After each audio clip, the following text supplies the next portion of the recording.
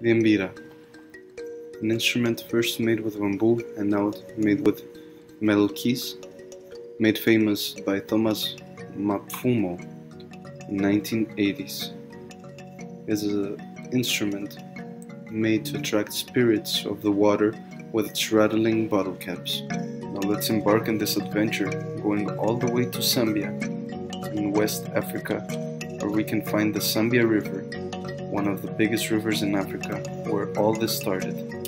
Today I will show you my process of doing an mbira without ever have done carpentry in my life, with the help of Gabriel Quintaro, an mbira maker that went to Africa to learn the art of it. So now we're starting the process of doing the mbira I am going to make. And Gabe, tell me what the calculations are for this.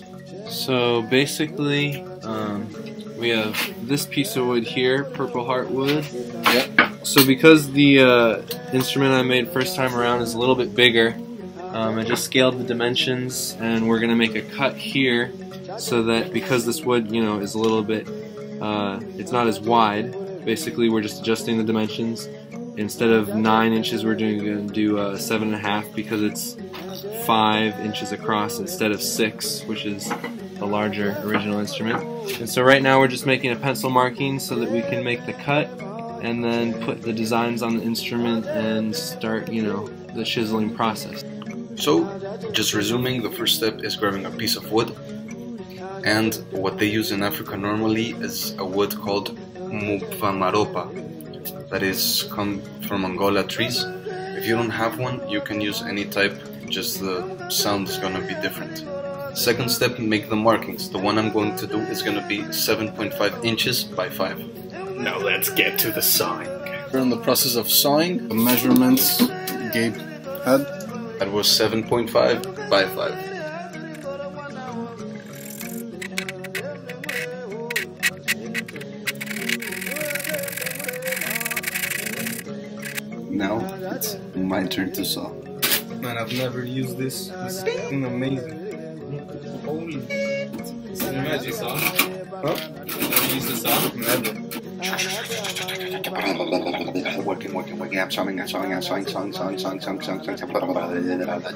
So we have our little piece.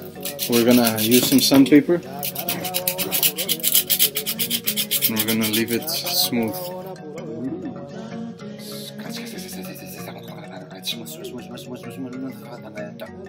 What are you doing there, Gabe? So basically, uh, before I started chiseling, I did some measurements with a pencil, and uh, right now we're just fleshing out um, these markings that we've made so that we can put the rest of the materials on the soundboard, the wood, uh, like the keys, pressure bars, and these bottle caps right here, which produce a interesting rattling effect. I'm just checking, you know, all the edges to make sure that they go down. So the measurements of that is half an inch from the sides and from the top. The book of Mbira making says one and one quarter to the top, but Gabe normally uses one and three quarters of an inch. In a, you know, vertical line and that the depth The depth is normally half an inch.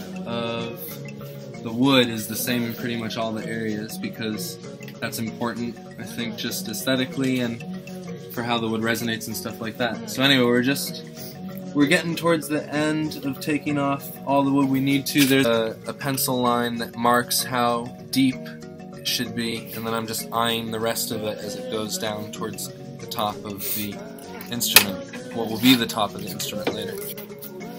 So one of the things I'm doing differently this time, the instructional book or the the book called Soul of Mbira says to make it is have the um, this bar here, the crossbar underneath.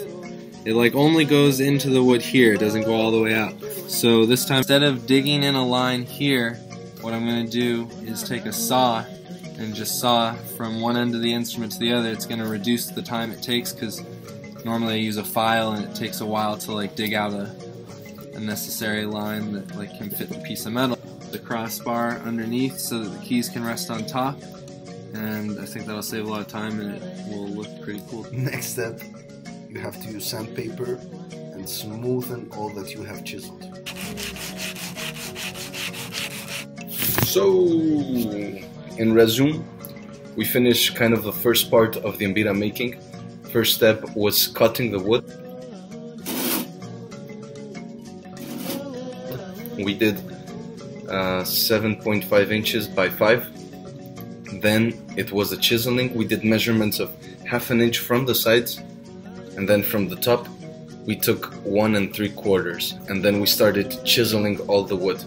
Chisel. Chisel. Chisel. Then Gabe is going to cut uh, a full line so the crossbar enters. Now we're going to the next step the making of the keys.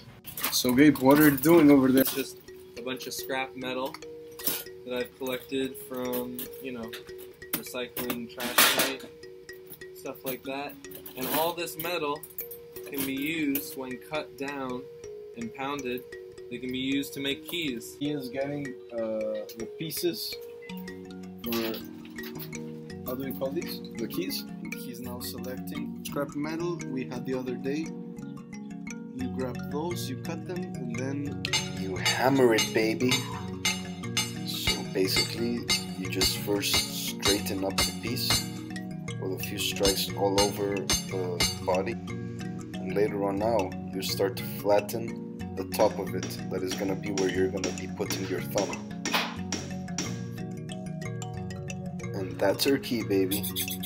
So we're taking the key here and we're just filing it so that the pounding wears off and it shines the key.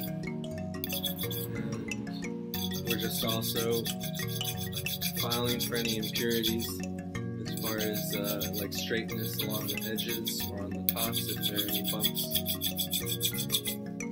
And by the end we'll have a key that feels nice to play on the uh, finger and the thumb.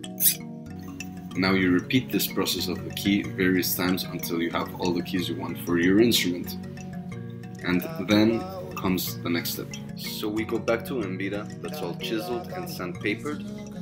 With pencil markings, you draw at equal distances four points where you're gonna put your eye bolts. You will drill where you did your pencil markings. After that, you put washers, then the nuts, and you push it not that tight because inside those eye bolts, it's where you're gonna put your rod. Now you get a little piece of metal bar and you put it over the wood and then with some pins you put the bottle caps so it has that rattling noise. So basically we have all these keys here. See? They're falling all over the place. So we have all these keys here which I've previously pounded out and filed and made. And basically we're gonna take what's first. We'll start with the longest key. If not, try one of the second longest keys after that.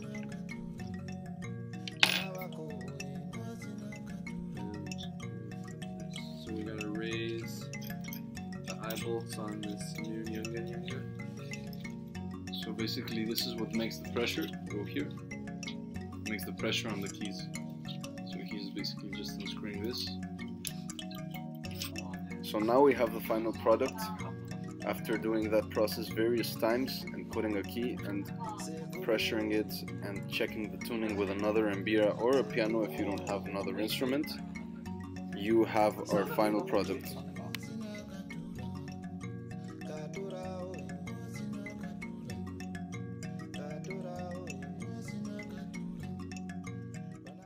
So guys, thank you so much for watching this video. I hope you learned how to learn Mbira.